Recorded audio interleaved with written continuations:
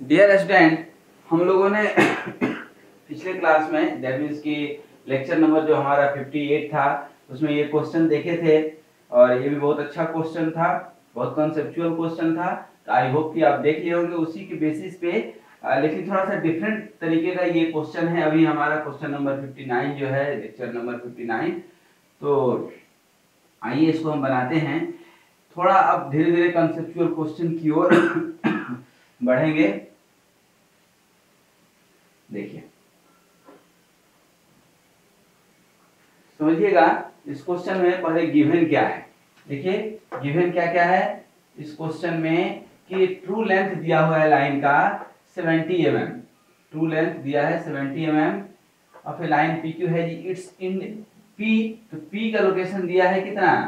20 above and 40 in front और Q का दिया हुआ है by the way 60 above and 10 in front ठीक है? अब क्वेश्चन समझिएगा। अभी तक क्या होता था कि किसी पॉइंट का लोकेशन दिया होता था किसी एक पॉइंट का और थीटा फाई या ऐसा कुछ फ्रंट व्यू टॉप व्यू दिया हुआ होता था। यहाँ पे सिर्फ़ तीन ही चीज़ दिया है और बाद हम आपको बता चुके हैं कि स्ट्रेट लाइन के टोटल 12 बच्चे हैं। 12 पैरामीटर्स हैं 12 पैरामीटर्स हैं। तो आपको सिर्फ़ दो पैरामीटर्स यहाँ दिया हुआ है, बाद बाकी 10 पैरामीटर्स आपको फाइंड आउट करने हैं। तो आइए देखिए, हम फाइंड आउट करके आपको दिखा देते हैं। सबसे पहले आप एक्स वाई लाइन ड्रॉ कर लिए। समझिएगा क्वेश्चन कितना अच्छा है एक्स और वाई अब पी का हम जो है लोकेशन दिया हुआ है ट्वेंटी एबव ये ट्वेंटी एबव हमने ले लिया। क्या हो गया? क्या हो गया ये? पी डैश और इसके नीचे क्या हो जाएगा? फोर्टी इन फ्रंट है तो इन फ्रंट है तो क्या आ जाता है? नीचे आता है, और कितना नीचे? जितना दिया है, ये फोर्टी दिया है, और ये ट्वेंटी दिया है, और ये क्या बनेगा? टॉप व्यू ठीक है? अब क्या बताए थे? लोकेशन के बाद इसका लोकस तो ड्रॉ कर ही दीजिए, करके आप निश्चिंत हो जाइए। ठीक है? इतना काम हम कर सकते हैं। उसके बाद समझिएगा, इतना करने के बाद Q का लोकेशन दिया है कि 60 एवं एवं मतलब ऊपर ड्रॉ करना है 10 इन फ्रंट मतलब नीचे ड्रॉ करना है। लेकिन कहा हम Q यहाँ पे ले लें, यहाँ से ऊपर ले लें, कि यहाँ से ऊपर ले लें, कि यहाँ से ऊपर ले लें, कि यहाँ से नीचे, कहाँ से ले अपने को पता नहीं जब नहीं पता है, लेकिन एक चीज़ पता है, ये नहीं पता है कि कहाँ पे हम लेंगे, लेकिन ये पता है कि 60 ऊपर लेंगे सिक्सटी ऊपर में आप एक लोकस ड्रॉ कर लेंगे ठीक है ना? ये लेंथ कितना हो गया आपका? 60 ये कितना हो गया? 60 और 10 इन फ्रंट है 10 इन फ्रंट तो 10 इन फ्रंट पे ये टेन हो गया, और टेन इन फ्रंट पे एक लोकस ड्रॉ कर लीजिए।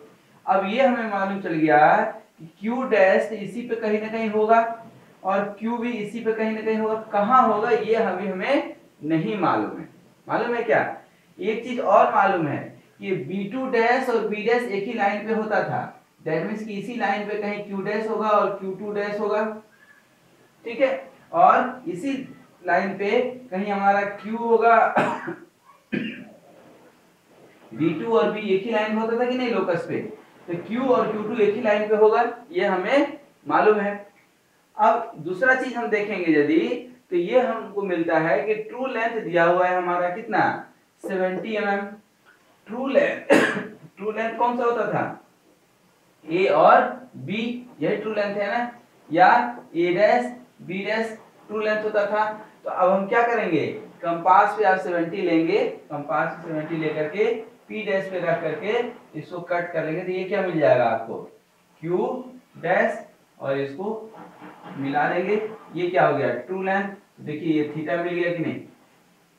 मिल गया थीटा ठीक है? उसके बाद यहाँ पे यही 70 रख करके ये P से, ये P पे रख करके ये Q वाले को कट कर देंगे ये क्या मिल जाएगा आपका?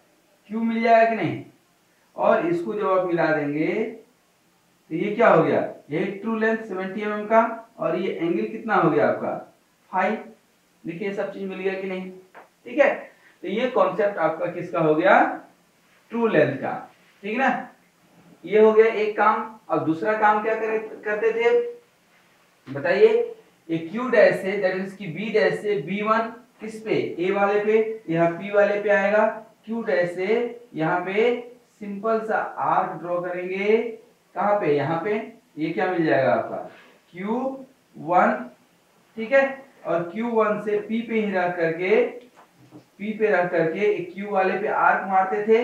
याद है? तो ये आर्क मार देंगे ऐसे ये यहाँ पे रख करके यहाँ से आर्क मार देंगे। देखिए, ये आर्क आ गया, ये आर्क आ गया, ये क्या हो जाएगा यहाँ पे? ये Q2 और इस P को Q2 से मिला देंगे। ये क्या हो जाएगा? आपका टॉप व्यू और ये एंगल कितना हो गया? बीटा समझिए। ये हो गया टॉप व्यू का लेंथ और ये हो गया बीटा उसी तरह से अब आपको मालूम है कि Q2 और Q2 डैश एक ही लाइन पे होता था। ये आप सीधा लाइन ड्रॉ कर दीजिए। ये क्या हो गया आपका? Q2 डैश और इसको मिला दीजिए। P डैश को Q2 डैश से। ये हो गया टॉप व्यू और ये एंगल कितना हो गया? अल्फ़ा इस तरह से आप देखिए, बन गया आपका ये क्वेश्चन ठीक है? आप इस तरह से भी कर सकते थे इस Q को हम लेते कहाँ पे? P डैश पे Q वन डैश और Q1 डैश से आर्क मारते तो Q2 डैश मिल जाता। ये भी एक ऑप्शन था, ठीक है? तो आपको top view alpha theta phi beta ये सब मिल गया कि नहीं?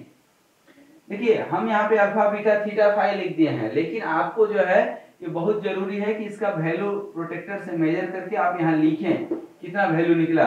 कि अल्फ़ा इक्वल टू कितना निकला थीटा इक्वल टू कितना निकला, ये सब निकाल करके आपको बताना है। फाई कितना निकला बीटा कितना निकला, ये सब चीज़ जो है बताना है। अब पूछिएगा सर, अभी एच टी और वी टी एच और भी यदि क्वेश्चन में पूछा है तो आपको H T V T H भी ड्रॉ करना है। नहीं पूछा है तो नहीं ड्रॉ करना है। क्या बताए थे? कैसे ड्रॉ करना है? इस फ्रंट व्यू को पीछे के साइड और आगे के साइड आप ड्रॉ कर सकते हैं। ठीक है? जहाँ भी एक्स वाई को टकराएगा तो ये एक्स वाई यहाँ पे टकरा गया। तो फ्रंट व्यू जहाँ पे एक्स वाई से टकराता था, वहाँ क्या बनता था? एच ठीक है? और टॉप व्यू किधर टकराएगा? इधर जाकर के टकराएगा। ये जो है, इसको आप ड्रॉ करेंगे इधर ही तो जाकर टकराएगा, ये टॉप व्यू वाला। एक्स वाई से यहाँ पे टकरा रहा है। जहाँ टकरा रहा है, वो क्या बनेगा? भी अब इसको इधर भी खींचना आपकी मजबूरी है। क्यों? कि एच वाले को गिराते थे टॉप व्यू पे तो क्या मिलता था?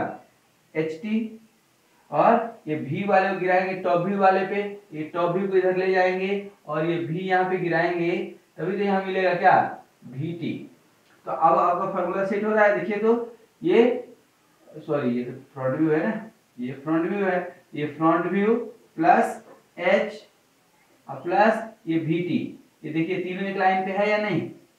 ये तीनों एक लाइन पे, इधर टॉप व्यू इधर पे ये top view plus H T plus यहाँ पे भी ये तीनों एक लाइन पे है कि नहीं? तो दैट मीन्स ये फॉर्मूला सेट हो रहा है मतलब कि आप जो बनाए, वह बिल्कुल सही है।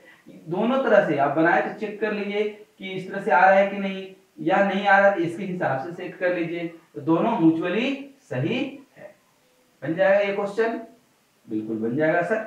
आपने इतना अच्छा समझाया और नहीं बने तो फिर वीडियो देखने का तो टाइम जो है बर्बाद करने का मतलब ही नहीं निकलेगा। तो आई होप ये आप समझ गए होंगे। इसको बनाइए और फिर हमें बताइए कि हाँ सर ये क्वेश्चन हमसे बन गया क्योंकि and practice there are two p's uh, to get the success in engineering drawing. Patience and practice perseveration ठीक है मेहनत, धैर्य और अनुभव, ये तीनों चीज़ काम आएगा आपको। तो प्रैक्टिस कीजिए। आई होप ये क्वेश्चन काफ़ी हेल्पफुल है आपके लिए and that will help you to improve your creativity उसके बाद ये जो है हमने आपको बताया था ये जो P डैश P और Q डैश Q2 डैश के बीच में जो डिस्टेंस होता है, उसको हम लोग बोलते हैं डिस्टेंस बिटवीन प्रोजेक्टर क्या बोलते हैं? डिस्टेंस बिटवीन प्रोजेक्टर इसी के साथ आज यहीं रुकेंगे। फिर हम नेक्स्ट वीडियो में कुछ अच्छे क्वेश्चन लेकर के लाइन के ऊपर आएँगे। That will be lecture number 60 ठीक ना? ये 51 59 में जो है आपको ये हमने बताया। फिर अगले वीडियो में मिलेंगे। तब तक के लिए धन्यवाद। और स्वस्थ रहिए मस्त रहिए मुस्कुराते रहिए।